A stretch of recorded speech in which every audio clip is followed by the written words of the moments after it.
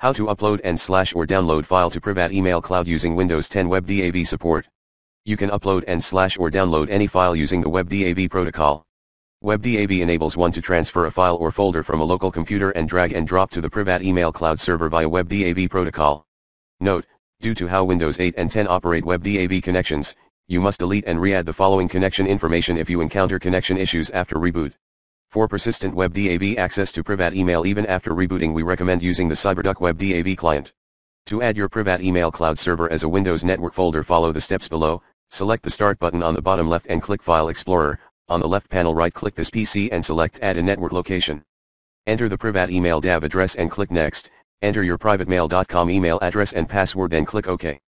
Enter the folder name for your PrivateMail network folder and click Next, you will now be able to access the PrivateMail Cloud server as you would any Windows networking folder.